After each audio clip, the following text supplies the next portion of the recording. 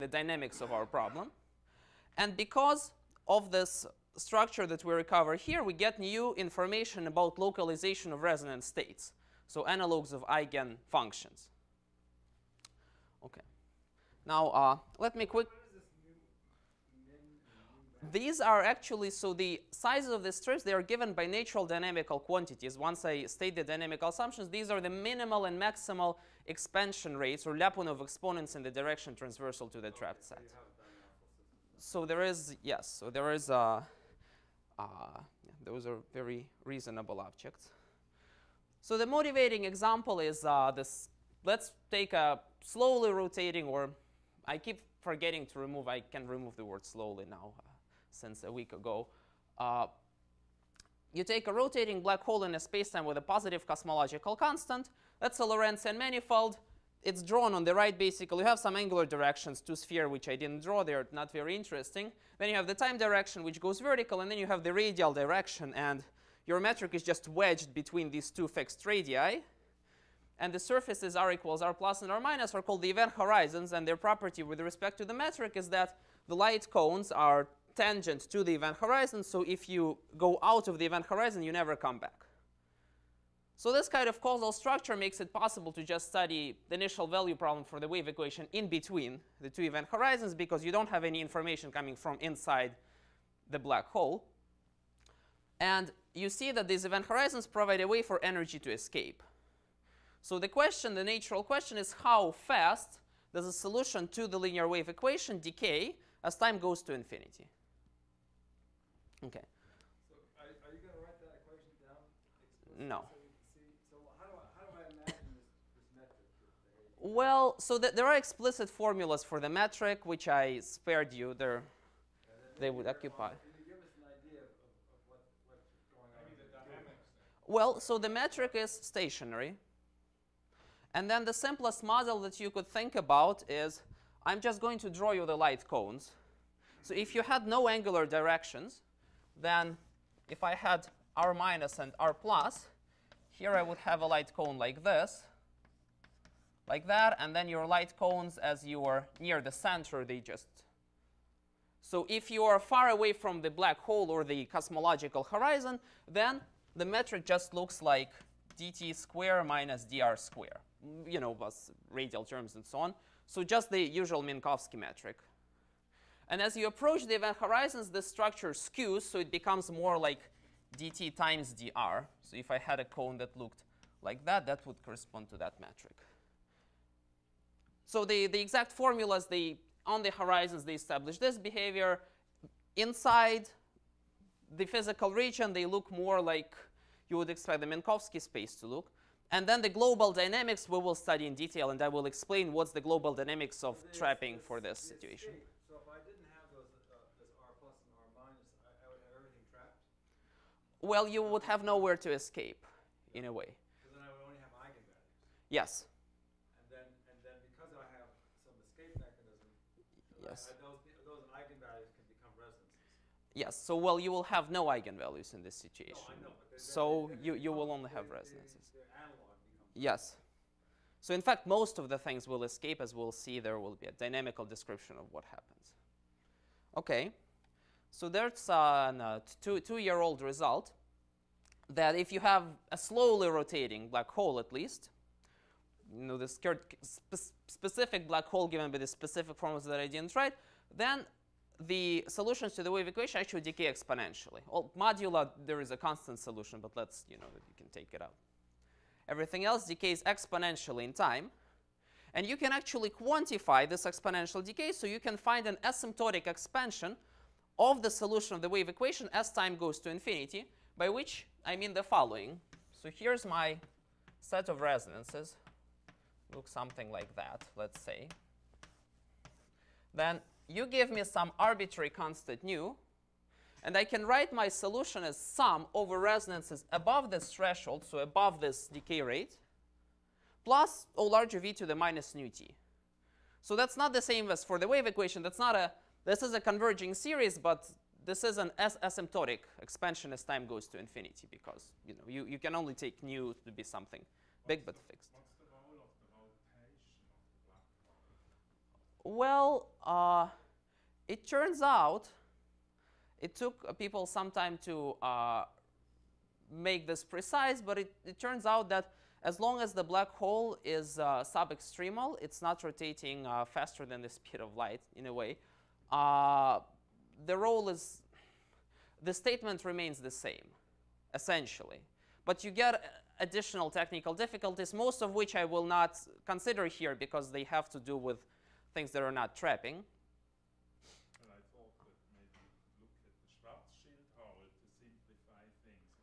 That's how people started, yeah. But it turns out that the dynamical structure is independent of whether you're rotating or not. So it just, it's a, it's a bit more of a pain to write it out. But it turns out that from a point of view of trapping, and that's the phenomenon driving our statements, uh, the, the dynamical structure of the trapping is actually the same. I'll, I'll, I'll, I'll, reach it in a moment. Well, you can kind of think, you know, you can, you, you can fall here, you can fall there, so there, there, there must be some point in between where, where you don't fall either way. But I, I, I, I will draw what the trapping looks like. Uh, okay. And moreover, actually, we know where resonances lie. Up to any negative power of the real part, if you take a fixed size strip, you can actually approximate your resonances by a quantization condition which I also don't write out here because this talk is not about quantization condition, it's about escaping the quantization condition if you want.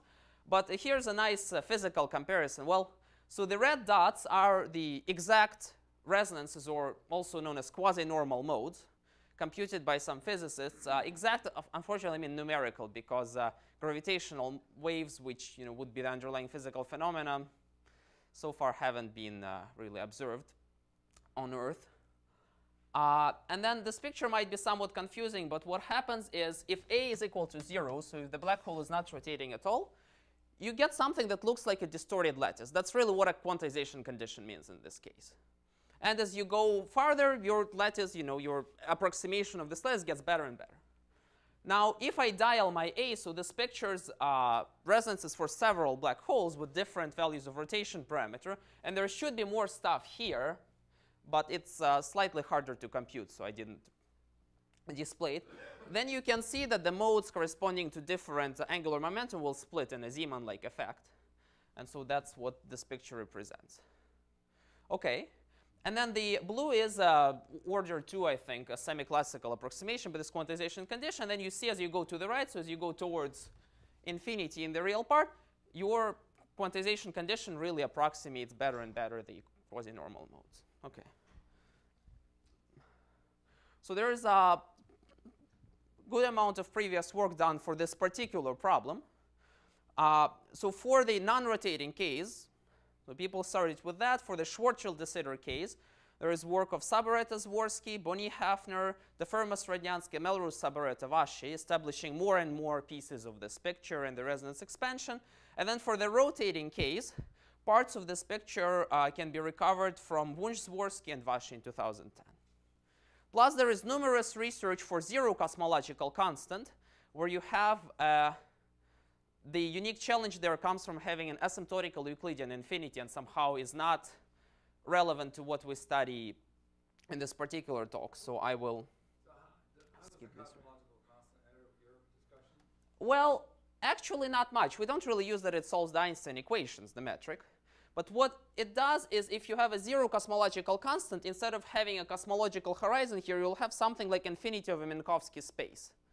Except it's not exactly the Minkowski space. It has some polynomial in our perturbations. And it turns out that if you propagate your linear waves, they tend to concentrate at low frequencies and shadow back on you, and you will not get exponential decay. So it's a very different phenomenon, not coming from trapping, not coming from high frequency, also very hard to study, but somewhat decoupled from what I'm I'm talking about. That's why I didn't uh, include it here. Okay. So now the natural question is, well, why? So we have this picture, uh, these resonances, we have resonance expansion, we have this nice structure of resonances, but why does this happen? As I said, most of the time, when you look at resonances, you, you just see a huge mess.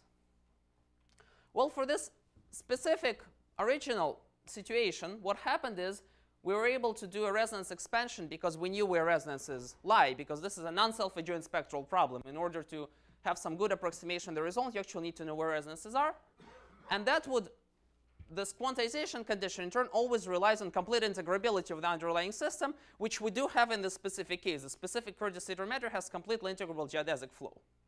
Now we want to somehow move away from the symmetry, so what we do is we perturb our metric in a stationary and ask what kind of properties are going to stay.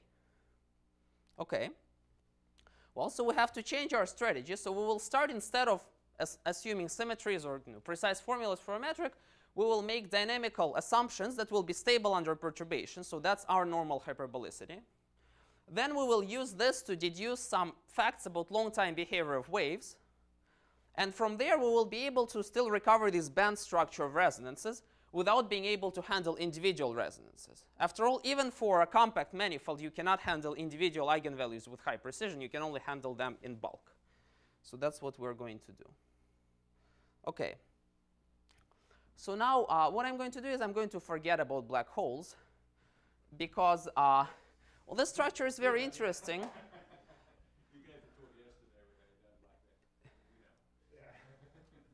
so this structure is pretty interesting, and there are a lot of challenges there. But somehow they have been handled in this situation. They have been handled already by, in this particular situation, by Vasy.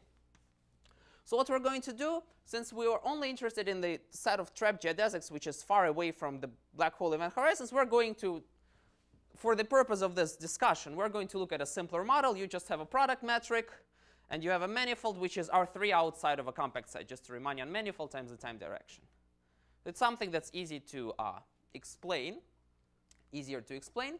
And then what are resonances? Well, this is kind of a spectral problem, but not exactly. So what you do is you first start in the so-called physical half plane, and there you have your resolvent of the Laplacian.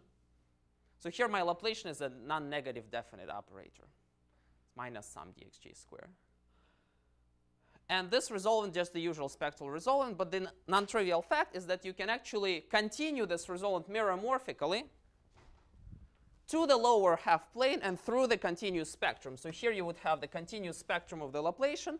And if you are just looking at the Schwartz kernel of this thing, or if you're willing to uh, consider as an operator acting from compactly supported to local L2 functions, then you can actually meromorphically continue this thing to the lower half plane. It will have poles.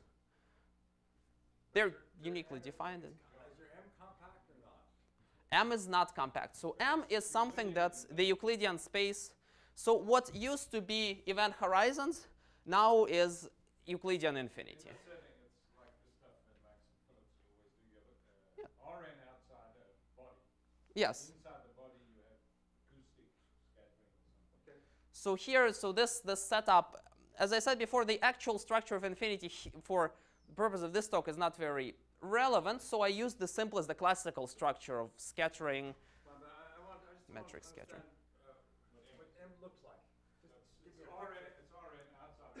You can think of it as a metric perturbation. Exterior. An exterior, exterior. Yes, well, boundaries are hard, so I don't have any boundary. I just have something that looked like R3, and then I take a metric and I modify my metric inside. Metric.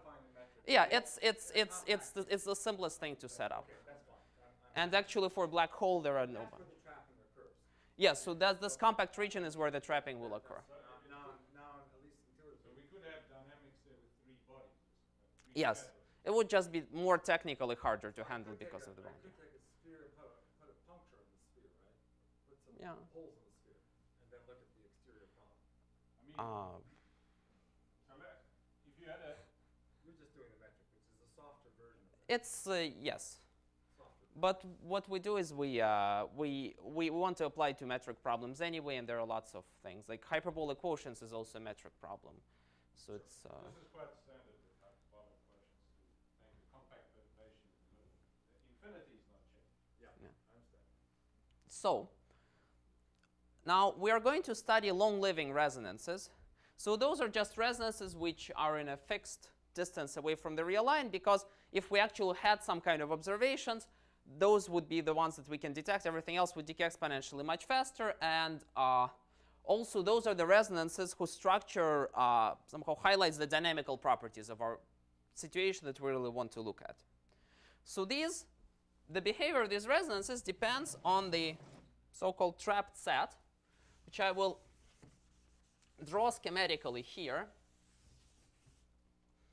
So what we do is we just consider geodesics on this Riemannian manifold that do not escape in either time direction. So they just stay in a fixed compact set, obviously in the set where the metric perturbation was. So uh, schematically, I will draw what happens like that. So imagine a good model of the trapping that we will get is a man standing on a hill in, in 1D. So we just take Hamiltonian, which is psi squared plus v of x, and that's v. So there you would have a trapped set. This is x and this is psi. You have just you know man standing doing nothing. Then you would have a lot of escaping trajectories. This is rolling back from the hill. This is rolling over the hill. And then you would have these things that are also important for us, incoming and outgoing tails, which correspond to, well, the incoming it corresponds to a situation where you barely don't have enough energy to roll onto. So these are geodesics that only escape in one time direction. Or I should say that are trapped in one time direction. Technically, it includes the trapped set. Okay. so what's the dynamical structure of the trapping that we're going to assume? So, well, I should really say, uh, I, I, should first answer the question, so what happened for, the say, the Schwarzschild de Sitter metric? Well, what happens is, so this event horizon, th this, is, this is irrelevant. This event horizon is, say, r equals 2m. And if you take r equals 3m here, so-called photon sphere, if you take a light ray that's tangent to the photon sphere, then it will stay tangent to it forever. So what you will get, you will get a situation like this, where this is the cotangent bundle to the photon sphere. So I should say that I consider my geodesic flow in the cotangent bundle of the manifold, because from point of view microlocal analysis, that's what one should do. And then you would have these rays that will exponentially approach the photon sphere and will wind around it in some way. These will be these incoming, outgoing tails. And then I formulate these assumptions. So I assume, so this, this first assumption already kills the possibility of applying it to anything interesting hyperbolic, because I need to assume that my incoming, outgoing tails are smooth. I should say, you know, in many other very interesting situations, these things are fractal. They, they don't even have an integer Hausdorff dimension. But in my particular situation, they are, and that recovers some interesting structure. Then I assume that the trapped set is their transversal intersection. It's a symplectic submanifold of the cotangent bundle. And then normal hyperbolicity means what? Well, imagine I'm imagine I am on gamma plus, for example. So mathematically speaking, these hyperbolicity assumptions talk about the linearization, the differential of the geodesic flow on the trapped set for long times. So the way you could picture it, for example, if I'm on gamma plus, and this is my trapped set k, so the flow is, of course, tangent to the trapped set. And then you would expect the flow to look like this. So this is the geodesic flow. So as you go backwards, you converge to the trapped set. And I require that you converge exponentially fast. Again, from a technical point of view, you should formulate a statement about linearization differential, but it's uh, nicer to draw this way. And then I define nu min and nu max. These are just the minimal and maximal rates of exponential convergence, eventual exponential convergence, because of course the trapped set is big, and from point to point, you can have different uh, convergence rates. Then another important quantity that I'm going to define is the maximal Lyapunov exponent, or the maximal, if you want, eventual Lipschitz constant in the exponential of the geodesic flow along the trapped set, because even though I draw it here as a point, remember it's, it's a huge manifold of codimension 2. So there could be expansion happening along this manifold. And then what I'm going to assume is this R normal hyperbolicity, namely that the rate of expansion in the transversal directions is much, much bigger than the rate of expansion along the trapped set. And finally, I'm going to assume this pinching condition. It's not needed for a bulk of the construction, but if you don't have a pinching condition, and you would have two bands of resonances, then the first band would overlap the second band, uh, so you couldn't really count. Okay. Now, it turns out that this particular set of assumptions as a whole is stable under small smooth perturbations of your dynamical system, your metric or your Hamiltonian. That's, uh, that's not a trivial fact at all, but luckily it was proved already by Hirsch, Pugh, and Shub in 77. Uh, and I should note that this R normal hyperbolicity is uh, pivotal in actually making this work because if you take a hyperbolic quotient, you can start with a 3D Fuchsian quotient, you perturb it a tiny bit, you get something that's, that's completely fractal. That not doesn't satisfy the smoothness assumptions. Then this is true for, again, I shouldn't say slowly, it's true for pretty much any Kerr de Sitter black hole. And for Schwarzschild de Sitter, already described what this thing looks like. It's just the photon sphere and the corresponding incoming outgoing tails. And finally, I should say that this structure of trapping is actually not that rare. So it appears uh, in some uh, works on quantum chemistry.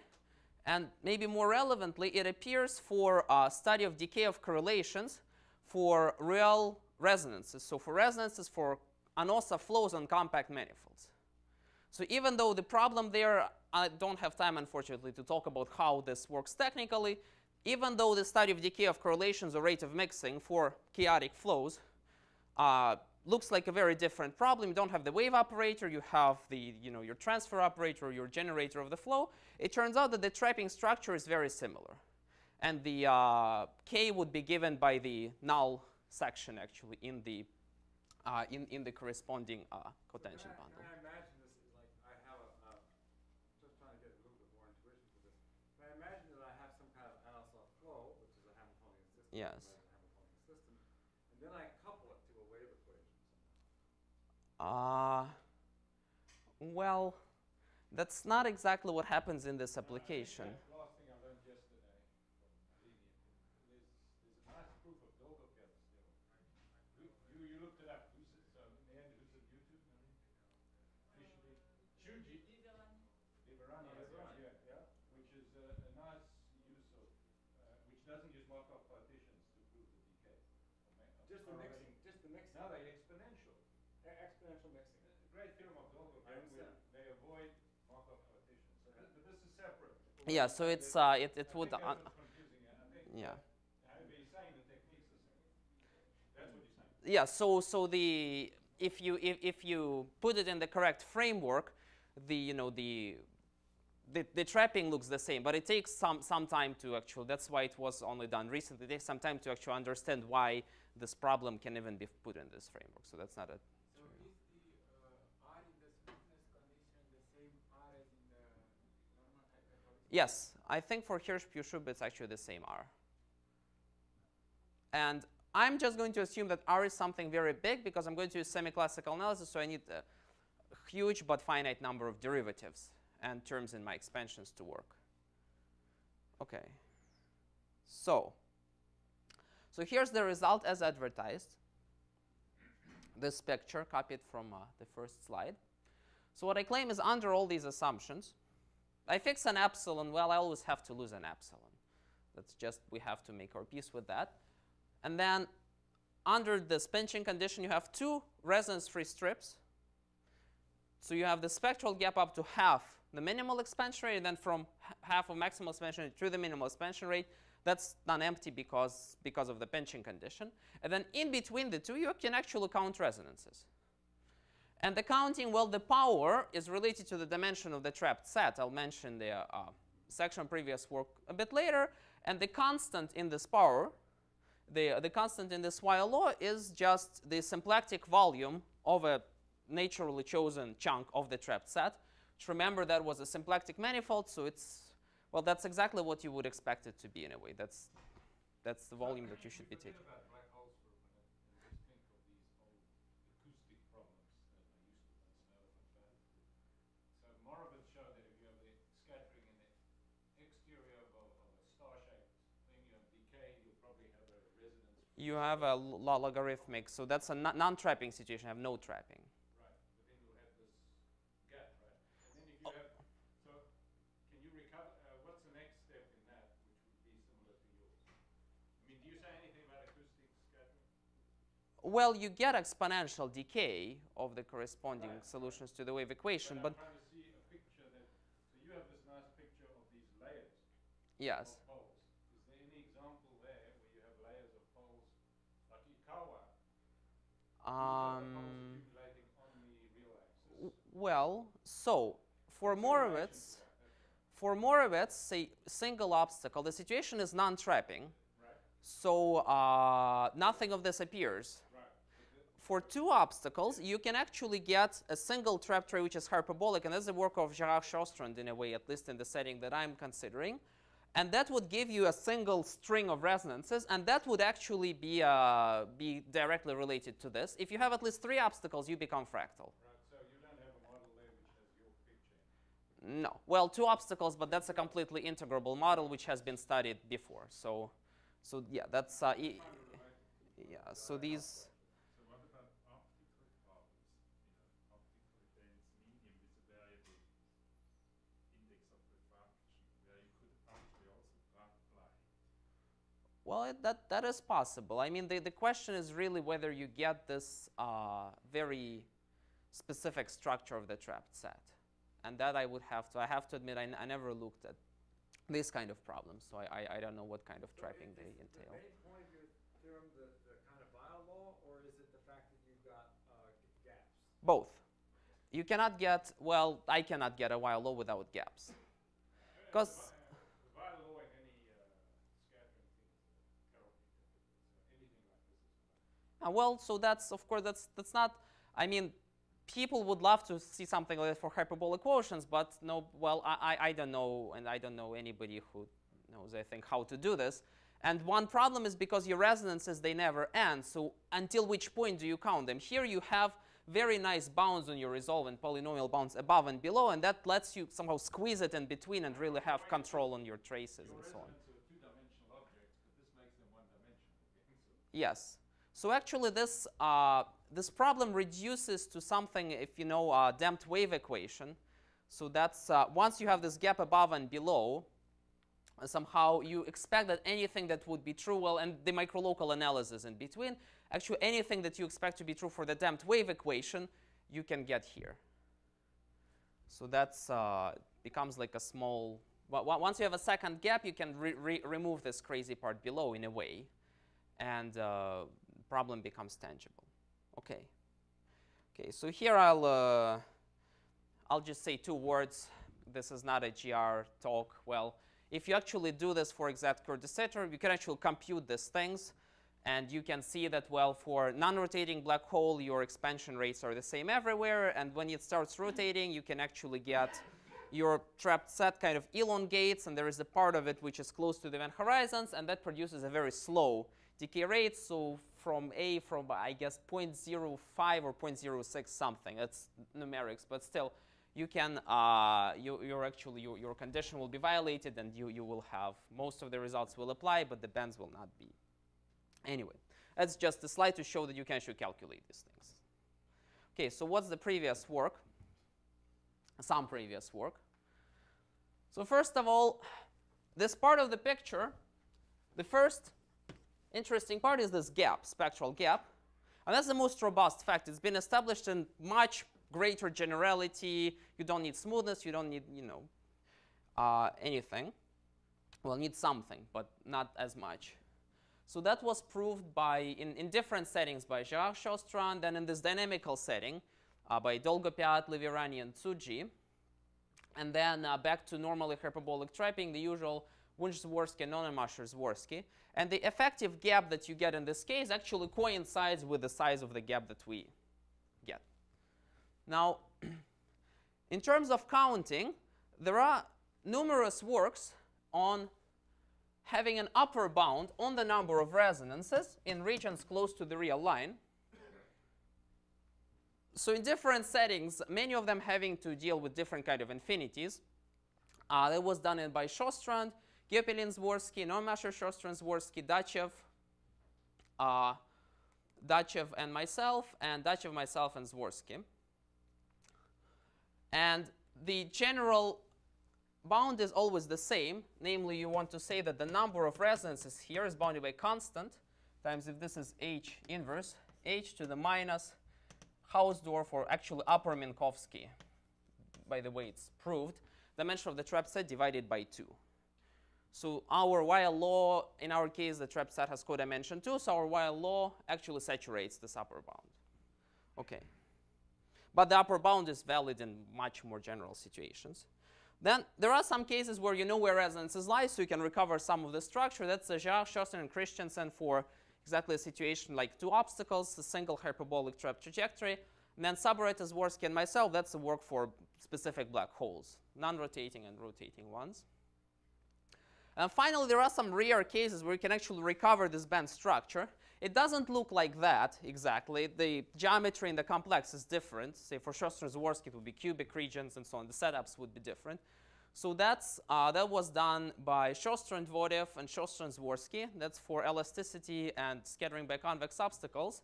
Then there are works by Zworski and Sjostrand, which uh, establish Weyl counting for some non-self-adjoint problems, which is a related question. And finally, there is this work of Faure Tsuji, which actually recovers these band structures for contact Anosov flows, again under a pinching condition. So what happened is if you had a contact Anosov flow, say, generated by geodesic flow on a constant curvature manifold, you would actually see these precise strings of resonances coming in. The real resonances would just be the eigenvalues of the Laplacian. And then if you, even if you have variable curvature, if you have some arbitrary Anosov flow, Faure Tsuji actually show that this band structure will persist and they have counting. Uh, so the difference between these two works is that for Tsuji, they face some unique challenges coming from the fact that you cannot assume that the stable and unstable decomposition is smooth. So there, somewhere in previous slide, I assumed something is basically smooth. For them, it cannot even be C2. People proved if it's C2, it's... Are you really mixing these two things as the same? Or Well, the, all theorems about scattering? The method of proof is uh, very similar. Okay, I just, we want, just want to understand what you're talking about. They just say that the, the Gutmann operator is an FIO. But it's about Koopman. Yeah, It's it's, about Koopman. yes, yes. But they treat it as an FIO and they apply Ah, So the applications are different, but the analysis inside actually has a significant overlap. That's what's confusing. So the, so the phenomenon, So the issue is they are looking at resonances of the Koopman operator in, if you have measured, you know, in, in ergodic theory. Yeah. Something that has, I, I've been around But that's- since but is Liverani, that which I wasn't aware of.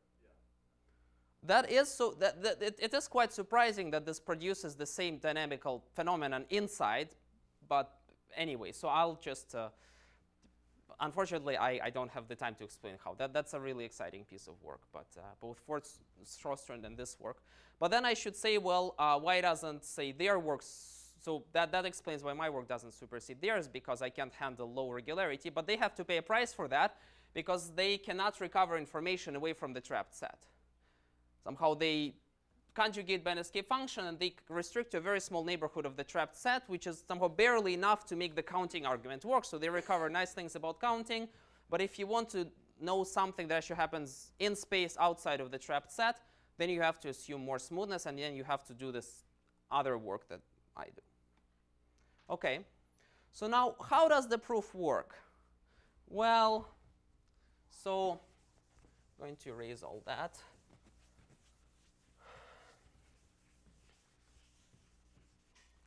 Well, where does this band structure come from? I claim that it actually comes from Taylor expansion. So why would you have a discrete number of levels of exponential decay? I only have one level, but really the, the, the, it, they, they should go all the way. Well, consider this situation. Consider this unitary operator. That's a constant needed to, things need to make it unitary u of t f of x, say in 1d even, f of e to the minus tx. Okay. Now the corresponding generator is what? It's x times partial x uh, plus, you know, i over 2 subprincipal terms.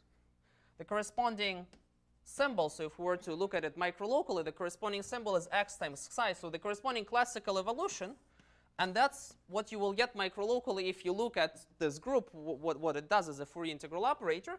That's just the Hamiltonian flow of x times psi. And we know what it looks like. Looks like that. So it's not just normal, it's the hyperbolic flow, the original hyperbolic flow. That's our trapped set. And now that's a situation similar to what I drew before. And then, well, what we want to do is want to understand long-term behavior of waves, or we want to expand this as a sum of exponentially decaying modes. Well, we just need to Taylor expand at zero. So what I can write here is u of t, f of x, is equal to e to the minus t over 2, f of 0, plus O large of e to the, well, minus 3t over 2.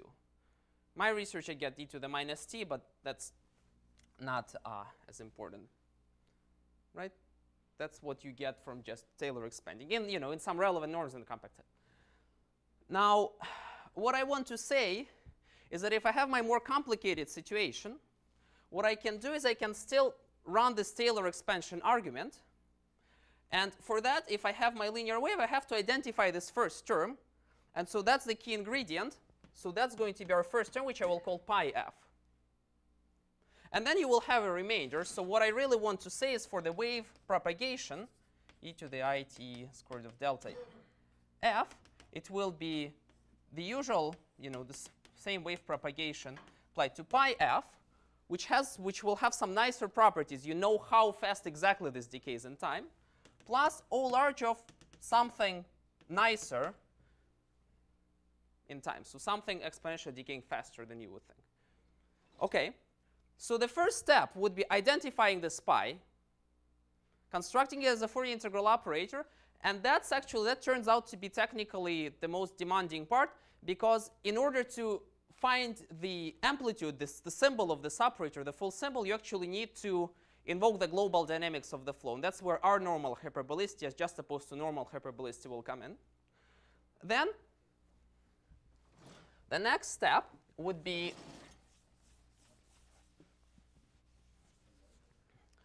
trying to understand how to prove a Taylor expansion. And I'll reach this in the end, hopefully. But the idea is you can prove Taylor expansion using uh, some very basic algebraic tools.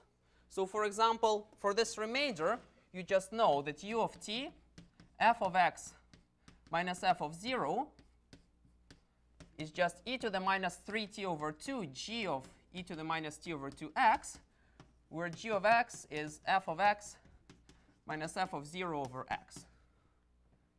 That, that's, that's a si- silly way to prove Taylor's formula. You know that this function is smooth. And so then you just write it out like this. And then here you have your better rate of exponential decay. I should write x here. And then if we replace x by a suitably chosen pseudo-differential operator, the proof still works.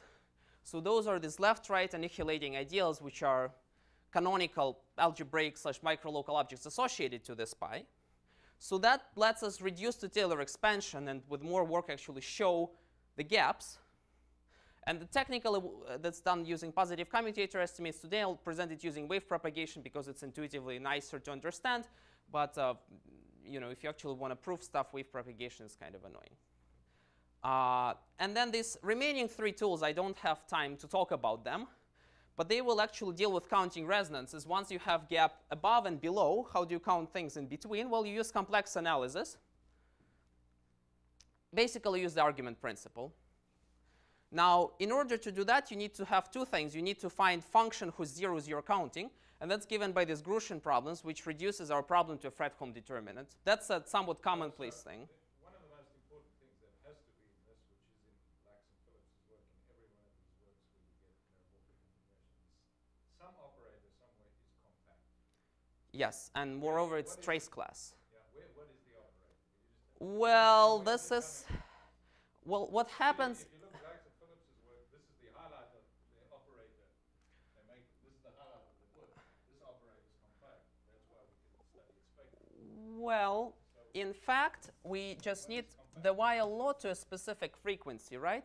So what we need is we need to resolve our problem, modulo a compact or better trace class operator in this region. But if you look at, so the elliptic estimates tell you that everything is invertible in this region of spectral values outside of a certain compact part of your phase space. And if you take an operator with a compact symbol, if you take a compactly supported symbol and you quantize it, you take the corresponding pseudo differential operator, you get something compact and trace class and Hilbert Schmidt, so all of that. Okay. Uh, which case are we talking about? Are we talking about the Koopman operator or are we talking about your set? Uh, actually, the analysis will be the same because the analysis is on the trapped set. The Koopman setting. Where's the compact operator? That would take me a while to explain because I haven't explained what the trapped set is in this case. But basically, it's something localized at functions which oscillate at frequency zero. But that's, uh, I, I, I am afraid I'll have to, uh, to Yes. that's my- uh, the fact that you, you probably have an operator whose eigenvalues are these resonances. mm, well, that's not how it works technically, but yes.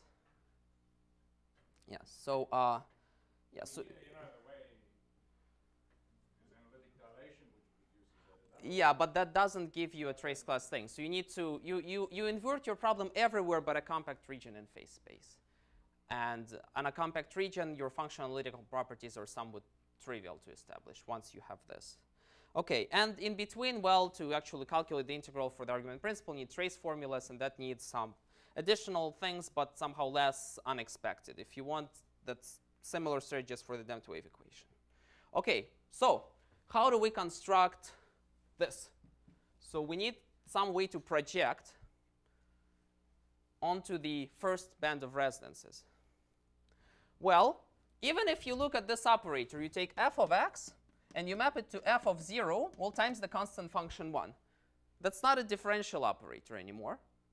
It turns out to be a Fourier integral operator. So if you look how it moves around singularities or wave H semi-classical wavefront sets, in the cotangent space, so both in frequency and position, it transports them according to some canonical relation.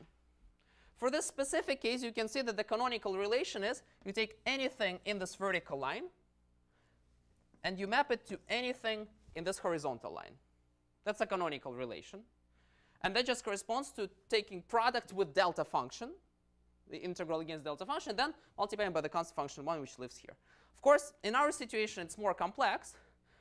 But uh, there is exactly one geometric object that could give you this. Namely, if I look back into my picture, say, of the gamma plus, of course, my geodesic flow is tangent to the trapped set, and that's really annoying. Because, well, it never reaches it. However, what you can do is you can take the symplectic complement of this thing, and that will be a one-dimensional distribution tangent to gamma plus and transversal to the trapped set, and you can project along this. So you have natural projections from the incoming outgoing tails to the trapped set. They don't depend on the flow, actually. They just depend on the symplectic structure and, well, gamma plus minus. And then your canonical relation is just this. So what you will have is you have something that looks like this, but now you added more dimensions. So you have one point on gamma minus. It maps to a point on gamma plus, but you require that these projections are the same. And it turns out to be the right canonical relation. And then you can show that there exists unique non-trivial, okay, zero solves this, uh, unique non-trivial Fourier integral operator that microlocally near the trapped set, so that's of course not exact equalities, that's all in terms of asymptotics or if you want the components of the full symbol, solves these two equations, is idempotent and it commutes with your Laplacian, which is what you would expect for the spectral things. Okay. Now, okay, how do you actually find this? How do you find a Fourier integral operator? Well, it's really something that's written as an oscillatory integral locally. For that, you need a phase, but the phase just comes from the canonical relation, or an old term, you know, the eikonal equation, and so on. So the phase we already know it, because we know what this canonical relation lambda is. But in order to solve for symbol, well, you need to look at the principal part of these equations, and then, well, the subprincipal parts, and so on. And it's one of these problems issue with the subprincipal parts are, you know, that they, they, they, they're not done, you know, uh, yeah, they, they cause trouble. But anyway, so, well, we have two equations. This is a nonlinear equation, but it's algebraic. So what it actually tells you, if you look at the formula for product of symbol product of Fourier integral operators, it just tells you that the symbol, which lives on, say, this cross, is a product of something on gamma minus and on gamma plus. In a way. Now, so you reduce problem to finding things on gamma plus and gamma minus, and that's the second equation. That's a commutation equation. It's linear, but it has a commutator. So what this reduces to is you have to solve a transport equation. So here, you have to solve a transport equation on this gamma plus, where luckily your right-hand side is known to vanish on the trapped set. That you, you, you you need to understand how to explain this, but it turns out to be true. And then you're looking for a function which also vanishes on the trapped set. Unfortunately, we are, our transport equation is along this flow which, is, uh, which never reaches the trapped set. So you still have a unique solution, but to find it, you need to integrate the right-hand side along the whole trajectory. You will get an integral that's exponentially decaying because you had normal hyperbolicity and f vanishes on the trapped set. But the problem is that's a unique solution. It's continuous, but it doesn't have to be smooth.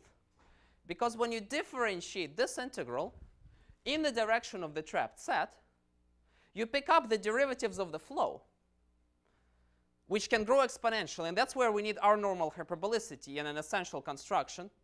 And that's why you know, lower regularity cannot lead you, except for a specific case of hyperbolic quotients of uh, constant negative curvature, where I think some algebraic miracle happens, but it's a different question. So you need to know that your exponential decay rate will still kill your exponential growth so that you, you could get something smooth enough so that you could apply your microlocal analysis. Okay, well, now, okay, once you constructed your projector, how to proceed? As I said, you have to relate to the Taylor expansion. And you have to understand long-term, it's until 4.15, right? I, have been told at least. I, I mean, I can stop now, but okay. J just checking. Usually it's 50 minutes. Uh, so what you want to understand. Hmm? but might also have better things to do. I don't know. but so you you want to prove these two facts. You want to prove these two facts about linear waves. If I have a linear wave, if I apply my projector to it, and then I look at local energy as I evolve along, you know, along the wave as, as I consider wave evolution of this thing, then I want this to have a controlled rate of exponential decay. And that corresponds to this uh, term, e to the minus t over 2f of 0. Of course, well, that's the only dependence of t, so it does have a controlled rate of exponential decay. And by the way, nu min is here nu max, and that's just 1 in this situation. Okay. And if I apply to the remainder, then I should have a rate of exponential decay that's faster. Okay, and by the way, I should note that u of t actually commutes with pi because we constructed it so that uh, our projector commutes with the Laplacian. So it commutes also with the wave propagation, which is a good property. Okay? And that actually, uh, that has nice applications to black holes because even if you don't have resonances, and you don't really have a resonance expansion here because of problems with null self-adjointness of the problem, you can still derive interesting facts about long-term behavior of waves, at least up to log time and age. And then if you had this information, then you can get more or less easily your two gaps. Because if I had something, say, in this gap, well, means I have a resonance state. So I have something like an eigenfunction which means that I will have a solution to the wave equation that will look like, well, something like that.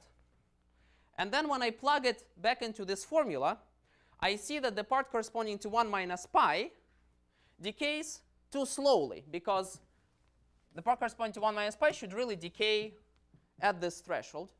So you get h infinity. So you get 1 minus pi f v is all large of h infinity. So you can't have anything substantial there. So it means that your resonance state has to live on the image of this projector, which is actually a nice additional fact. It tells you it solves another pseudo-differential equation. It tells you it reduces by one what you need to know about what, what, you, what kind of freedom you have for if you want semi-classical defect measures of resonance states, because it gives you some nice invariance along these lines. And so if you just had something on the image of pi, then you look at this fact, and you again see that your rate of decay is, well, it's wedged in between the two, so your resonance, your resonance really has to lie here. Okay. Now, uh, so that's the model case that I already explained. So that's the Taylor expansion. Here's our generator. That's our projector, which is a Fourier integral operator.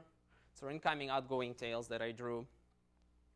And then how do you, well, how do you adapt the Taylor expansion proof to our situation? Well, so we had two facts, decay of the first term and decay of the remainder. So decay of the remainder, as promised, you just write it as f of xn minus f of 0 over xn is just xn times something. And this xn, that's a pseudo-differential operator. It's a, differ it's a multiplication operator. When you propagate this operator along the wave group, it multiplies by to the minus t. So you have something of which is bounded, this part, multiplying by an operator whose norm decays very nicely. How do you establish things for the first term? Well, you have to use this, that your first term is actually constant in time, or it's, it's constant in x, right? It doesn't depend on x. So by, which means that if I want to take, say, a of x times my propagated function,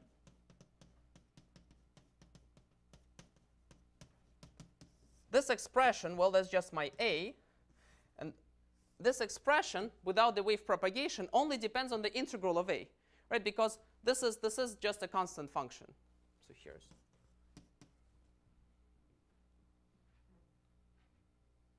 okay.